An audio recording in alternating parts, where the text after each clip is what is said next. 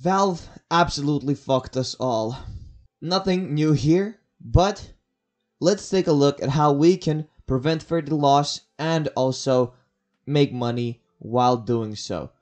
So, in honor of how great of a company Valve is, I am going to be doing a giveaway on a Battle Scarred Holo sticker. So, if you want to enter it, click the first link in the description, go on my Discord server, and join the giveaway there. Also, make sure to like the video, hit that subscribe button so you get notified when I post videos, and if you want, you know, hop on over to my Twitch. If you have any questions, I will answer them for you right there live. So, peace out and have a nice day, boys. Enjoy the video.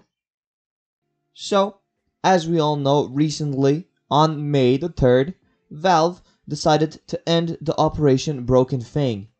Three days late. Just saying, but okay. Furthermore, on the day that they ended the operation, they also added the Snakebite case.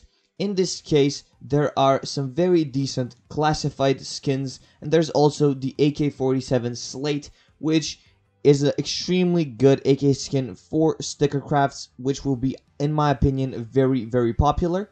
But that is not the main issue. The main issue is the gloves that they added into this case, which are the same gloves that are in the Broken Fang case. Now, we all expected this sort of a case to come out. The problem is, nobody expected the case to come out the day that the Operation Broken Fang ended. We always talked about selling your Broken Fang cases early because this is a possibility, but nobody really expected this to occur this soon.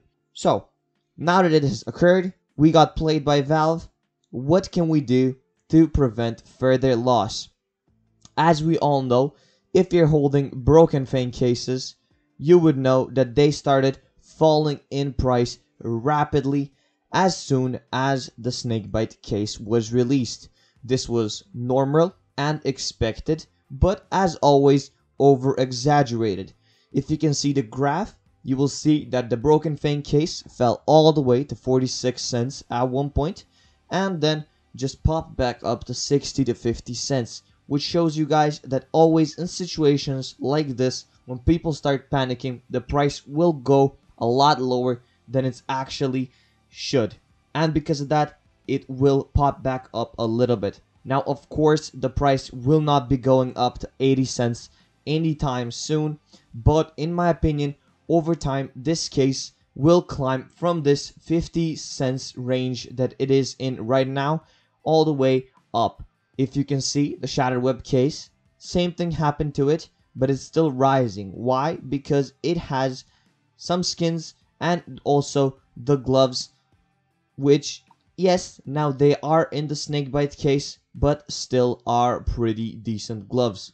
Now, when we compare the shattered web case to the broken fang case, we can notice that the broken fang case has a lot more better skins than the shattered web case, which once again indicates that this case has a bit more potential to grow in price because it is not relying solely on the gloves, but it also has some very, very decent skins inside of it, which make it very, very good.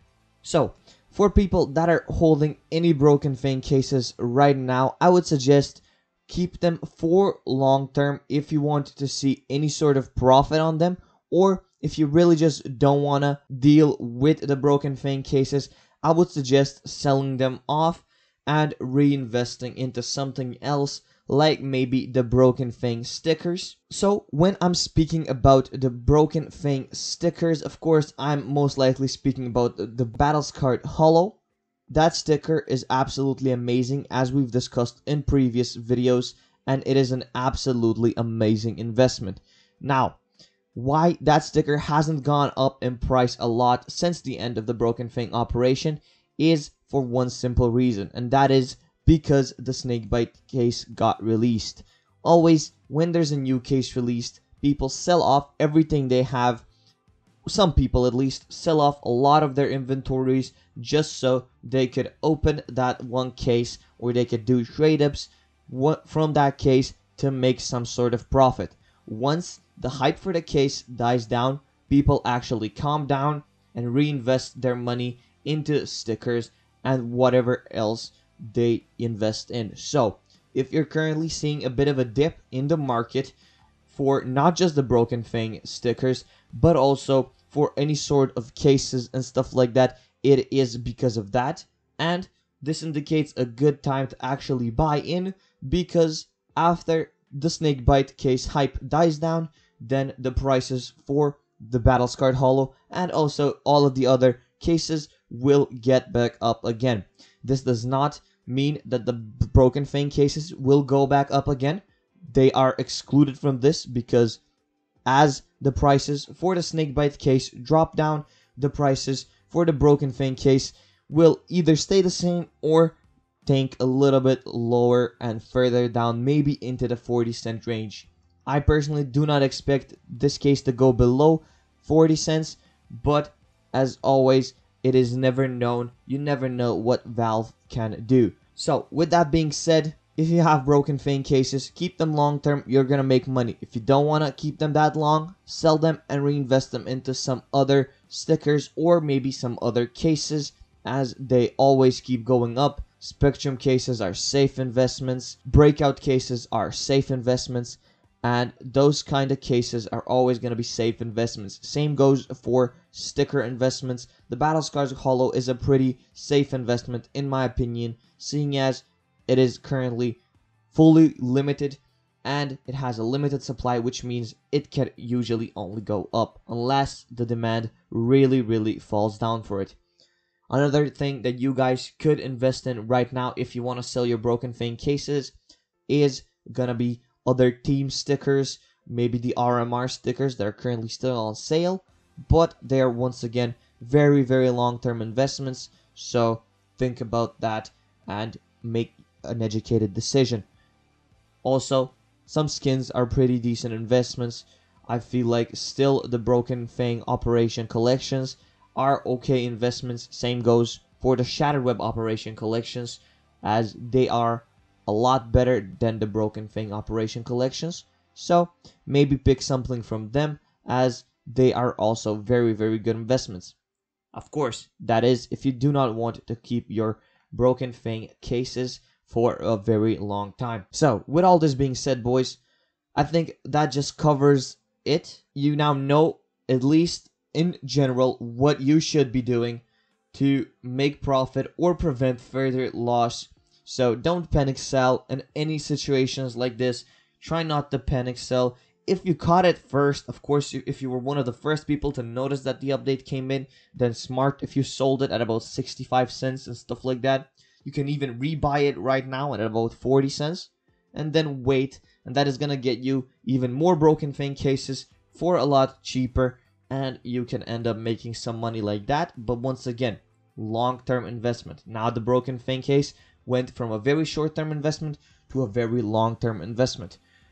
And because of that, you're going to have to keep it for a long time. But with all this being said, if you guys have any other questions you might want to ask me, feel free to leave them in the comments below or hop on my Discord channel or I stream every Tuesday, Wednesday, Friday, and Saturday at 6 p.m. UTC plus 2 time. So if you want to hop on the streams, I stream on Twitch and I stream on YouTube as well. So you can watch me on either platform. Come over, ask me any questions you got while I'm live, and I will answer them for you guys live right in front of you. So, with all this being said, once again, me repeating that line for the fourth time I think in this video. Thank you so much for watching this video. Missed you all guys and expect a lot more videos coming from me. So, peace out and have a nice day boys.